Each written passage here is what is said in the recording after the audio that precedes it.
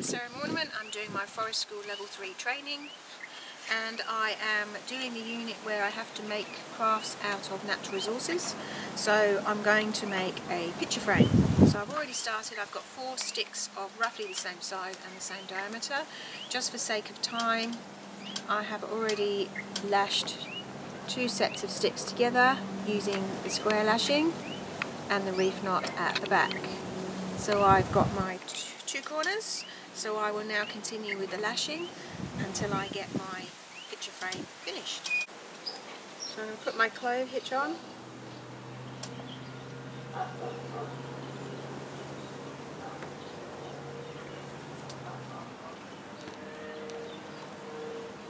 And then I'm doing square lashing, so I'm going to go over, under, over, under, over,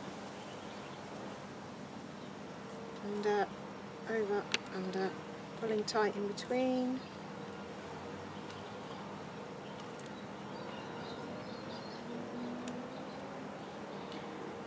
More time round.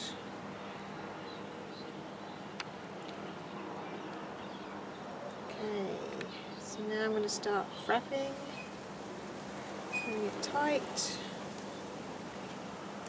I'm just going the other way, just around the back of all the sticks.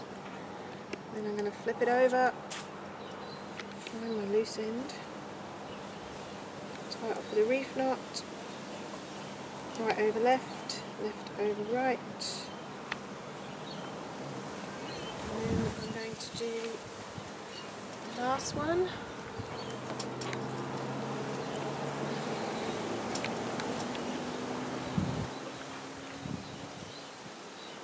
Boat hitch.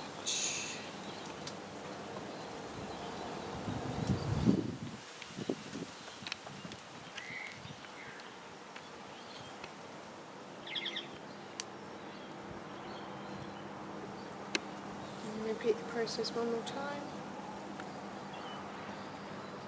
Over under, over under, over under, over under.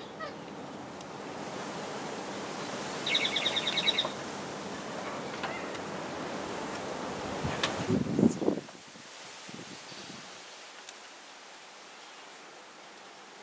the other way and start the frapping.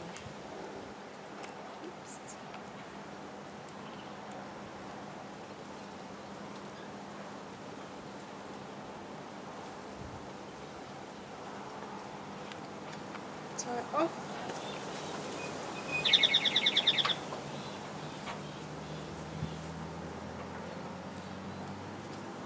Picture frame.